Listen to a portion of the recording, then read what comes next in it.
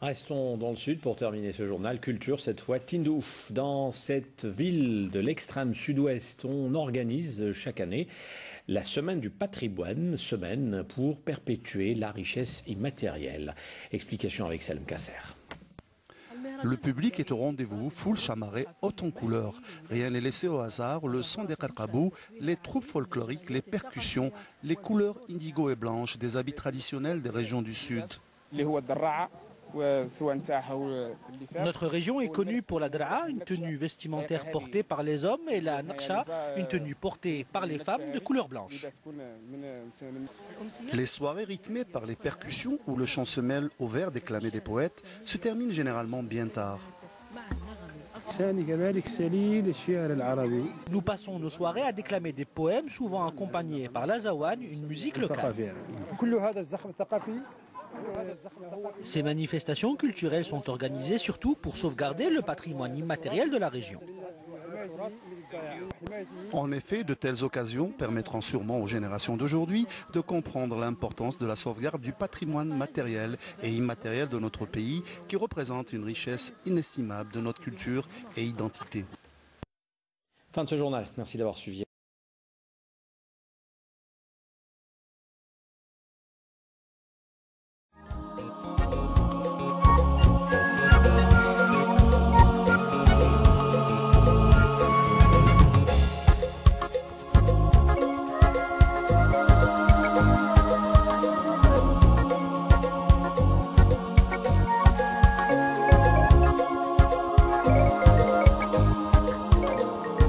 La structure sociale des régions sahraouis se particularise par sa diversité et hiérarchisation qui l'anime.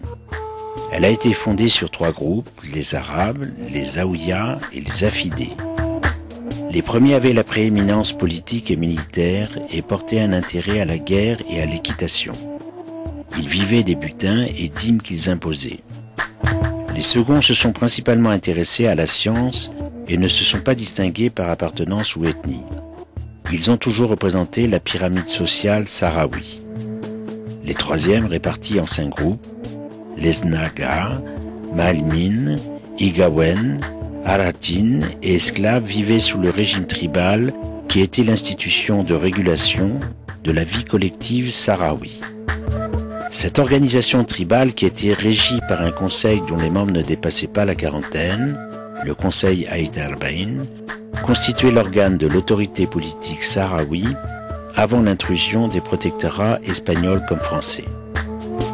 La confédération Takna, dont les palais se sont étendus du bassin de l'Ouednoun au nord jusqu'à Sakia El Amra au sud, a connu plusieurs scissions et mutations qui aboutirent à l'architecture sociale actuelle, sahraoui, des F. Haït Jamal, F. Haït Otman ou Haït Bla.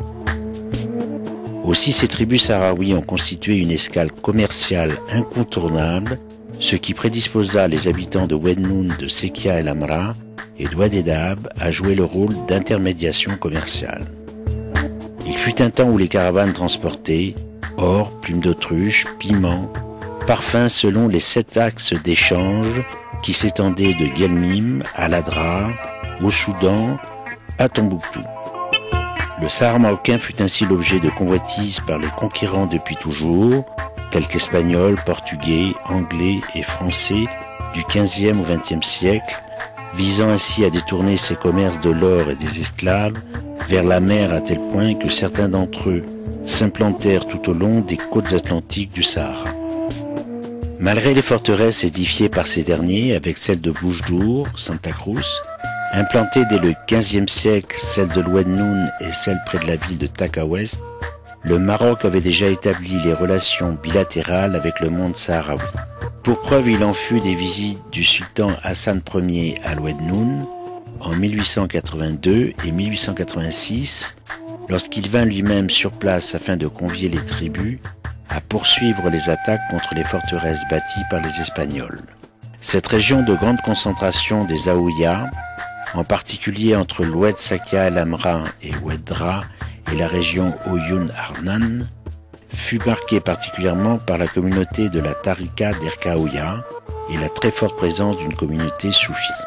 Les principales Aouyas sont la Zaouia de Sidi Ahmed Ergibi, surnommée Moul El Abshi, qui se trouve à 120 km de la ville de Smara, la Zaouia de Shir Malainin, qui se trouve à Smara, la Zaouia de Sidi Ahmed Laroussi. Les vérités de l'histoire sahraoui déterminent catégoriquement que le Maroc jouissait pleinement de sa souveraineté avant la colonisation et l'instauration du protectorat et que le Sahara était sous souveraineté marocaine. Aucune entité indépendante, quelle qu'en soit la forme ou représentation, n'ayant pris corps dans cette région tout au long de cette période. Le sultan marocain confia l'édification de la ville de Smara, envoya les divers daïrs aux diverses tribus du Sahara, à l'instar de celui remis à la tribu d'Irgibat en 1906, ce qui atteste parfaitement les liens d'allégeance et d'attachement de toutes les tribus sahraouis au trône alawite. Le Maroc recouvra son indépendance et sa souveraineté pour ces terres placées sous le protectorat français en 1956, pour celles placées sous le protectorat espagnol, les terres étant dispersées entre sud, centre et nord, elles furent ainsi récupérées graduellement entre 1956, 1958 et 1969 pour Sidi Ifni. En 1975, le Maroc récupérait son Sahara à la suite de la Marche verte, qui traduisit sa parfaite symbiose entre le trône alawite et le peuple, dont les habitants du Sahara.